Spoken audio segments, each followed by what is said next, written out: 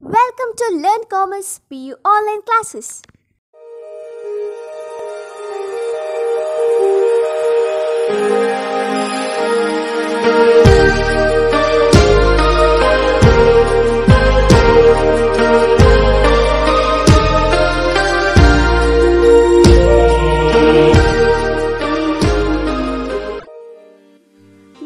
Forget to like our video and subscribe our YouTube channel for all the updates.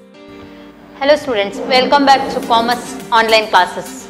So in the previous class we had discussed regarding the fixed exchange rate system. Let us look at what is the second main determinants of exchange rate system. The second main determinants of exchange rate system is flexible exchange rate system. What is this flexible exchange rate system? Flexible exchange rate system is nothing but students. Here the exchange rate is fixed on the basis of market forces. So market forces that is demand and supply.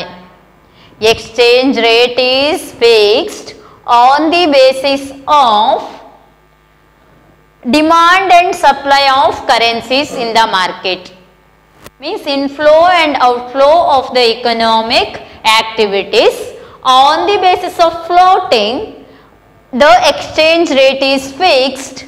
Thus it is also called as floating exchange rate system. On the basis of floating or on the basis of exchange of goods and services and currencies in the foreign exchange market the exchange rate is fixed. So it is called as floating exchange rate system. Why it is said to be the flexible exchange rate system means by seeing the demand for the goods and currency in the foreign market on the basis of demand going to supply the goods and services and managing our official reserves. So exchange is taking place on the basis of demand and supply that are called as market forces market forces. All the market activities are done on the basis of demand and supply. If there is no demand, no supply. If there is no supply, lack of products. Thus, on the basis of market forces, demand and supply, exchange rate is fixed. Thus, it is said to be the flexible exchange rate system. Flexible exchange rate system. So it is not at all rigid because on when the demand changes exchange rate changes. When the supply changes exchange rate may change. Change according to the market forces. Exchange rate may change according to the market forces that is demand and supply. Thus it is said to be the flexible exchange rate system or floating exchange rate system. So in the previous First method fixed exchange rate system or stable exchange rate system. In that also we discussed some advantages and disadvantages in the form of merits and demerits. So let us look at flexible exchange rate, its advantages and disadvantages or why it is essential for the foreign exchange market through the merits and demerits of flexible exchange rate system. So this flexible exchange rate system is very helpful than the fixed exchange rate system because in the fixed exchange rate system officially the exchange rate fixed by the government there is it is very difficult to change the rate according to the time being but under the flexible exchange rate system on the basis of market forces we can change the exchange rate through the demand and supply. If the demand increases supply increases during that time exchange rate also changes. Thus during the deficit in balance of payment occurs during this period also it may take some steps through the flexible manner to change the exchange rate by seeing the demand and supply in the foreign exchange market by the official reserves.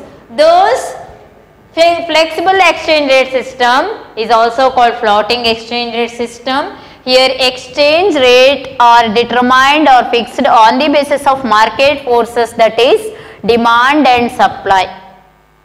So it is easy to change the exchange rate when the deficit or surplus in balance of payment arises. Official reserves also changes. So let us see the merits and demerits of flexible exchange rate system or floating exchange rate system. First one is merit of flexible exchange rate system is to maintain balance of payment of a economy.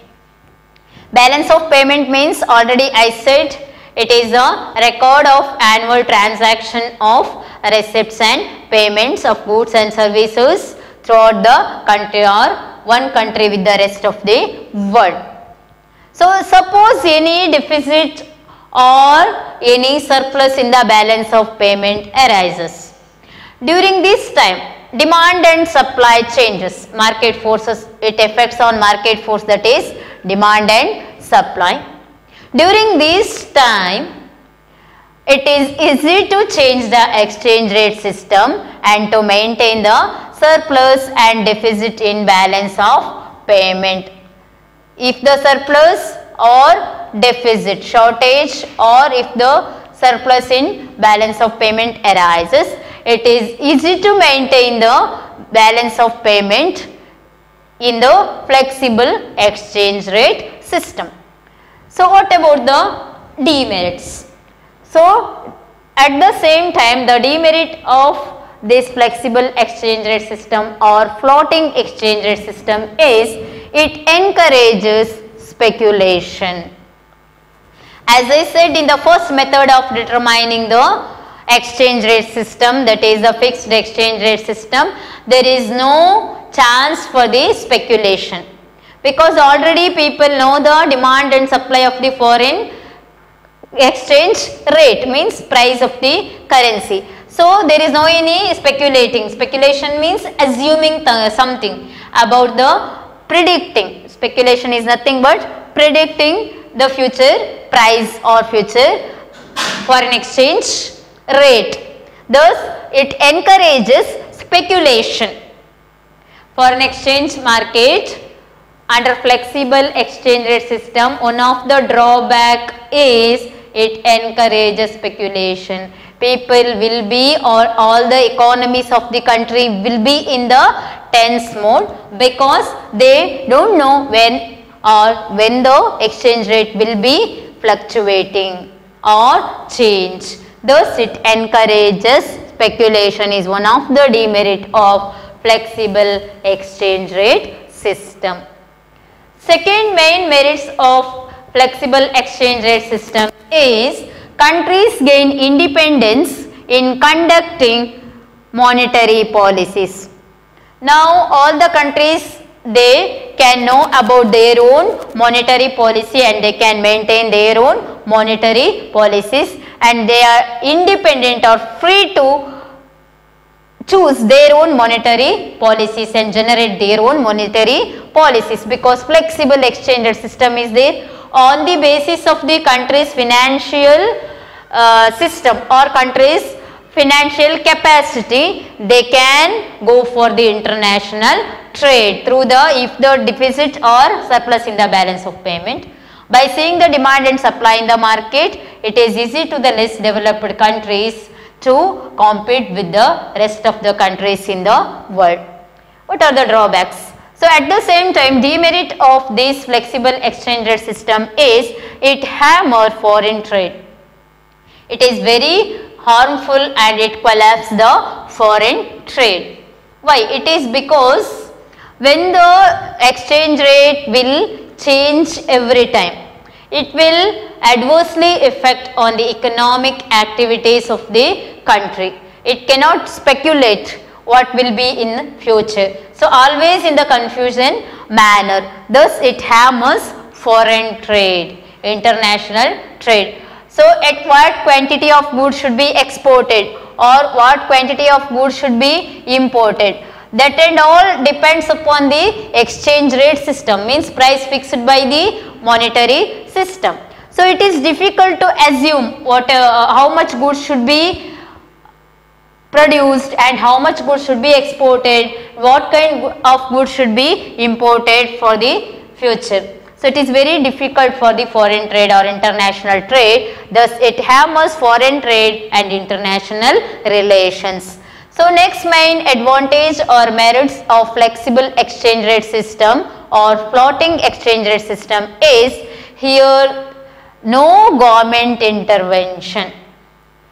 So under the fixed exchange rate system we studied that government is going to fix the exchange rate system and all the economic activities are under the control of the government because exchange rate is fixed by the government or monetary authority. But in case of floating exchange rate or flexible exchange rate, there is no government intervention. On the basis of market forces demand and supply, exchange rate is going to be fixed by the authorities, monetary authorities. Any country can follow their own monetary policy. So here independence to follow their own monetary policies. Whatever the money we have from that we can purchase the goods whatever we want at particular time.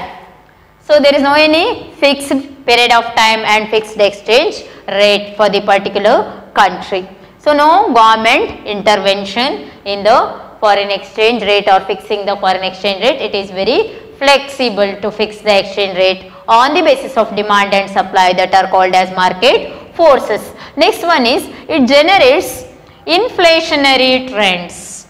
It generates inflationary trends. Why it generates inflationary trends? Because suppose the export import increases in a rapid manner export increases. One country can gain a lot, other country may lose. Inflation is nothing but you know that general prices rising in a continuous manner so too much inflation is too bad for the economy. Continuous rise in the general price level and fall in the value of money. There is no value for the present whatever the money we have. So developed countries there is no value for the money inflation arises means it adversely affects on the developing countries. They may sell the goods on the basis of their demand and supply for the higher exchange rate. It will adversely affect on the developing countries or poor economies. So one more drawback of this exchange rate system, flexible exchange rate system is wide fluctuations in the foreign exchange rate in foreign exchange market. Due to the wide changes in the market forces demand and supply. If there is change in the demand and supply, automatically there should be change in the foreign exchange rate. If the demand increases, foreign exchange rate decreases. If the supply increases, foreign exchange rate also increases. Like that wide fluctuations means variations in the foreign exchange rates leads to the in foreign exchange market leads to wide fluctuations. It is adversely affect and hammers the foreign trade. So, one more merits of this flexible exchange rate is no need to hold foreign exchange reserves.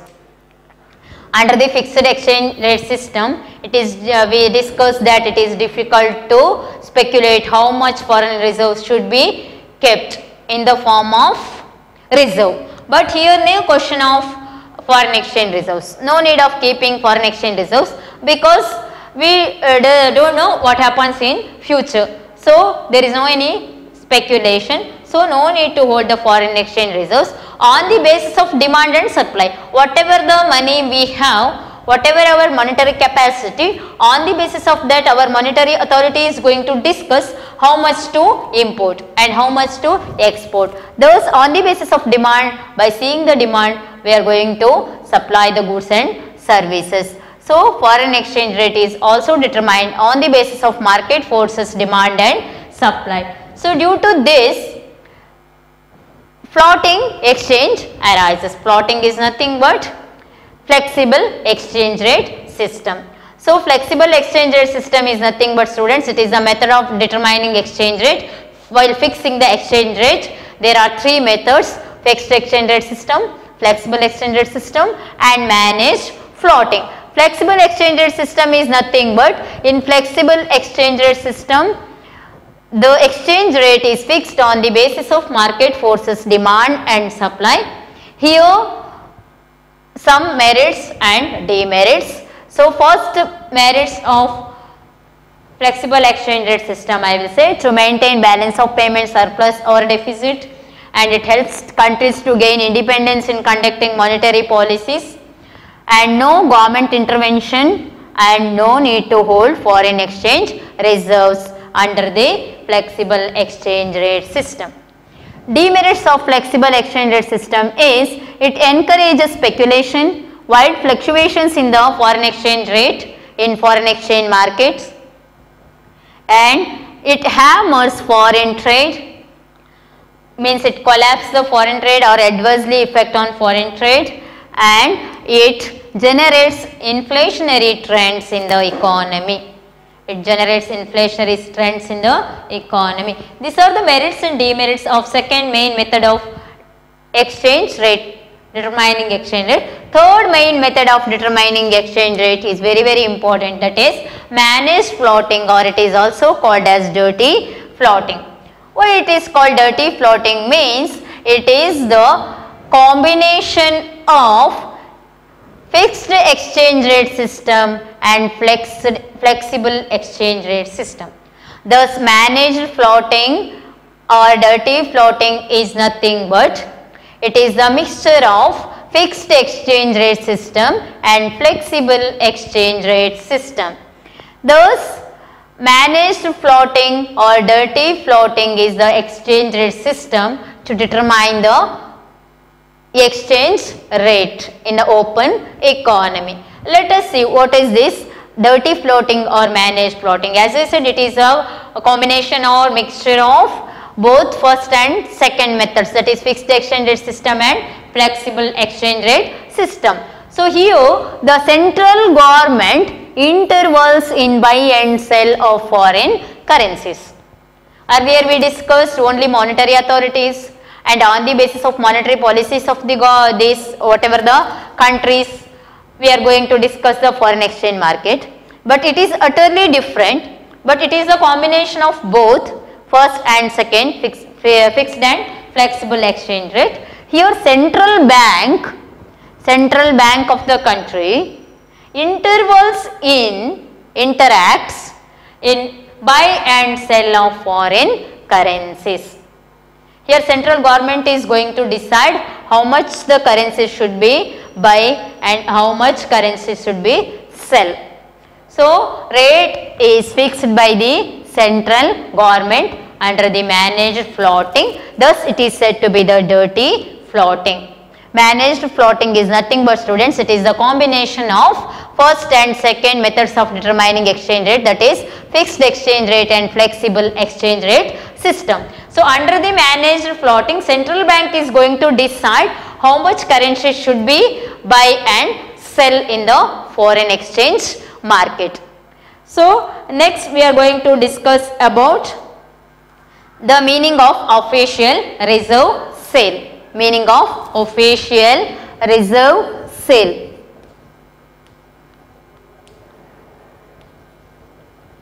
So, in the next class we are going to discuss about meaning of official reserve sale. Thank you. Don't forget to like our video and subscribe our YouTube channel for all the updates.